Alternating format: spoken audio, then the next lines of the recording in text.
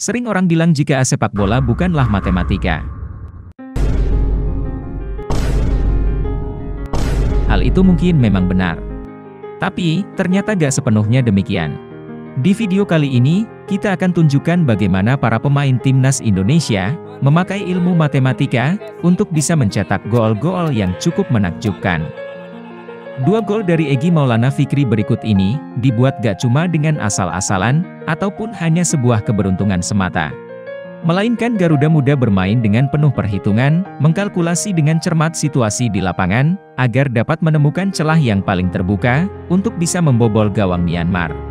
Untuk gol pertama, kita akan lihat bagaimana timnas Indonesia memakai matematika, untuk mencari area yang unggul jumlah pemain. Semakin tinggi intensitas dilakukan oleh pemain-pemain Garuda Nusantara. Masih ada 20 menit, masih panjang sekali waktu. 20 menit ini, ayo seluruh rakyat mendukung kalian. Semangat dan mampu untuk bisa menyamakan kedudukan. Wow, si Manjutak tadi diganjar uh, sliding tapi bukan pelanggaran. Lutfi melebar lagi kepada Sarang Messi kita lihat melakukan crossing berbahaya. Ya, Gol penyama kedudukan di menit 71 ini berawal dari bola yang di area sayap kanan timnas. Setelah menerima bola dari Sadil Ramdhani, Syahrian Abimanyu memutuskan untuk back pass dulu ke Muhammad Lutfi. Karena di area kanan situasinya sedang sama jumlah dengan pemain Myanmar, yaitu 2 lawan 2. Lutfi memutuskan untuk memindah arah serangan ke tengah, guna menemukan area yang secara jumlah lebih unggul. Nur Hidayat lantas memberi bola ke Samuel Simanjuntak, yang memang dilihatnya bebas dalam situasi satu lawan kosong, di sayap kiri. Setelah bola di kiri, tiga pemain Myanmar datang, dan hanya Feby Eka yang membantu Samuel. Sekarang situasi di area kiri ini timnas jadi kalah jumlah, 2 lawan 3. Tapi dengan tiga pemain Myanmar datang, ternyata malah membuka area tengah pertahanan mereka. Samuel jadi bisa lihat dengan baik Hanis Sagara di tengah, yang cuma satu lawan satu dengan back lawan. Bola pun akhirnya diberikan ke Sagara. Setelah balik badan, ternyata di depan Sagara situasinya kurang menguntungkan. Ada Egi dan Sadil di sana, tapi situasinya kalah jumlah cukup signifikan, yaitu 2 lawan 4. Tapi Sagara juga bisa lihat di sisi kanan, ada Rifat Marasa Besi yang tanpa pengawalan. Sagara berniat memindah bola ke Rifat, namun lewat bantuan Lutfi dulu, karena jalur passingnya masih tertutup lawan. Setelah menerima bola, Rifat melihat di area tiang gawang sisi jauh, ada situasi cukup menguntungkan buat timnas di mana ada situasi yang cuma dua lawan dua di dekat gawang, antara Egi dan Feby Eka, dengan pemain lawan. Diangkatlah bola ke tiang jauh oleh Rifat, yang akhirnya terjadilah gol pertama, yang dibuat oleh Egi.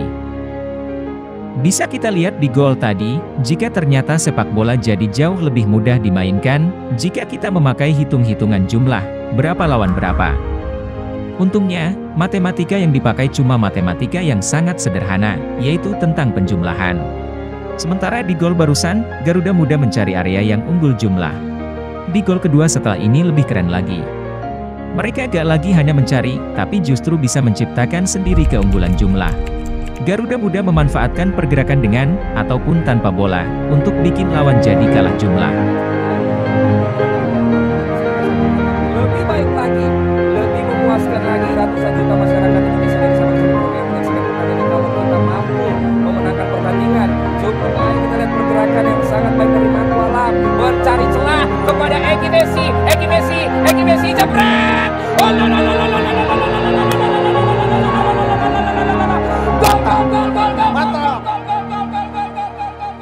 Gol ini berawal dari Rahmat Irianto, yang menerima lemparan ke dalam dari sisi kiri.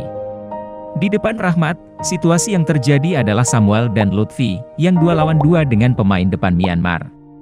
Karena situasi itu kurang menguntungkan, Rahmat memutuskan untuk memindahkan bola ke kanan, lewat Nur Hidayat. Karena memang di sana ada Asnawi yang kosong gak terjaga.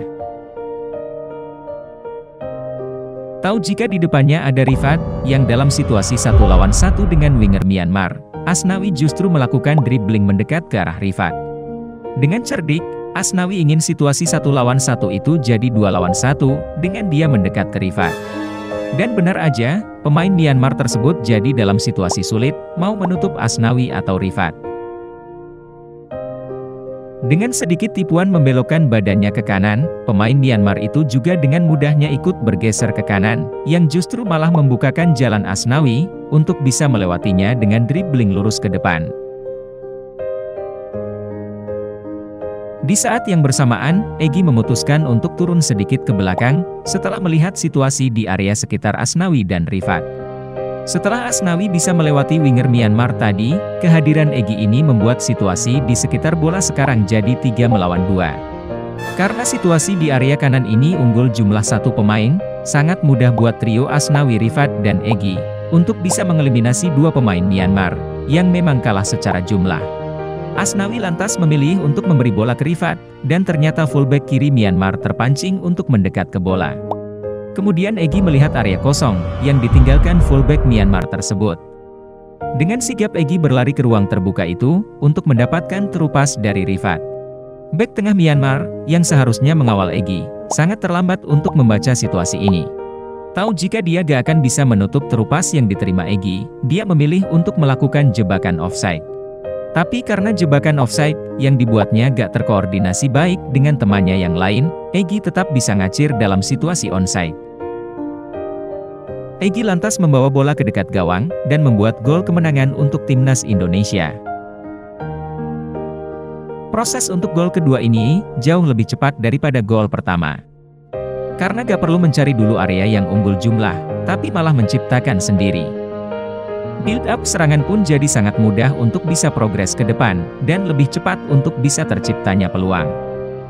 Mungkin memang benar, jika sepak bola bukanlah matematika, tapi karena matematika adalah ibu dari semua ilmu pengetahuan, ternyata kita bisa memakai ilmu matematika untuk bisa bermain sepak bola yang lebih baik. Hanya dengan hitung-hitungan sederhana, Garuda Muda bisa menemukan celah yang paling efektif di pertahanan lawan untuk bisa mencetak dua gol.